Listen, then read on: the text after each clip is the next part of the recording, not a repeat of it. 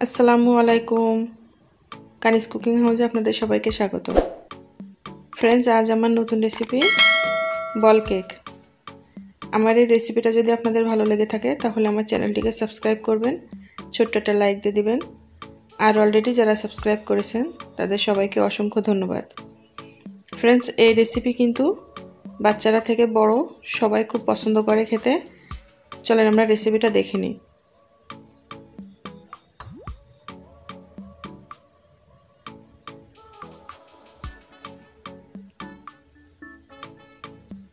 আমি এখানে এক প্যাকেট বিস্কিট নিয়েছি।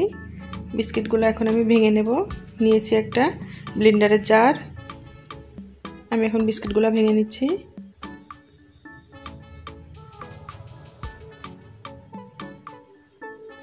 এখানে যে কোনো বিস্কিট নিলে হবে, আপনাদের পছন্দ মতো বিস্কিট নিলে হবে। আমি বিস্কিটটা গুঁড়া করে নিয়েছি।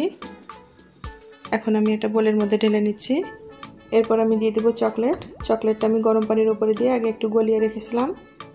তারপর আমি দিয়ে দেব চুলাতে, আমি জাল করে নিয়েছিলাম গুঁড়া দুধ আর দুধ একসাথে দিয়ে সেটা আমি দিয়ে দিচ্ছি। দিয়ে এখন আমি সুন্দর করে মাখিয়ে নেব।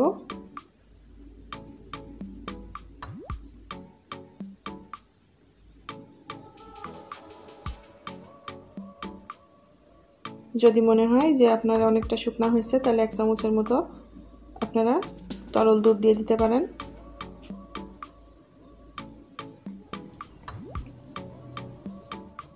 আমি সব উপকরণ দিয়ে একসাথে মাখিয়ে নিচ্ছি। এটা আমার মাখানো হয়ে গিয়েছে। এরপর আমি ছোট ছোট লেচি আকারে নিয়ে হাতের তালুতে আমি গোল করে নেব। দেখুন এভাবে করে গোল করে নেব। এটা কিন্তু খুব সহজে হয়ে যাবে। দেখেন খুব সুন্দর হয়ে গিয়েছে। এভাবে করে আমি সবগুলো বল তৈরি করে নেব।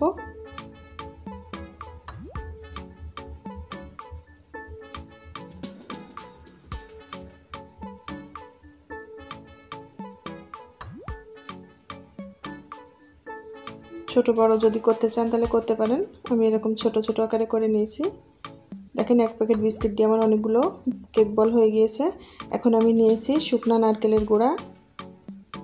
আমি একটা করে বল নিয়ে আমি নারকেল গুঁড়ার সাথে এভাবে করে মাখিয়ে নিচ্ছি।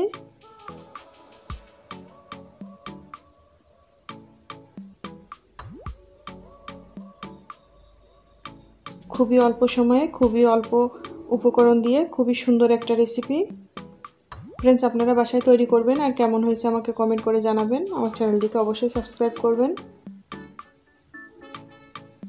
এভাবে করে আমি সবগুলো তৈরি করে নেব। দেখেন, সবগুলো আমার তৈরি করা হয়ে গিয়েছে। তৈরি হয়ে গিয়েছে আমার কেক বল ফ্রেন্ডস আমার এই রেসিপিটা যদি আপনাদের ভালো লেগে থাকে, তাহলে আমার চ্যানেলটিকে সাবস্ক্রাইব করবেন, ছোট্ট একটা লাইক দিয়ে দেবেন, আর বেল আইকন অবশ্যই অন করবেন, নতুন নতুন রেসিপির নোটিফিকেশন পাওয়ার জন্য। অলরেডি যারা সাবস্ক্রাইব করেছেন, সবাইকে অসংখ্য ধন্যবাদ। লাইক কমেন্ট শেয়ার করতে ভুলবেন না। আমার এই রেসিপির পুরো প্রস্তুত প্রণালী ডিসক্রিপশন বক্সে দেওয়া থাকবে। চাইলে ওখান থেকে দেখে নিতে পারেন। আল্লাহ হাফেজ।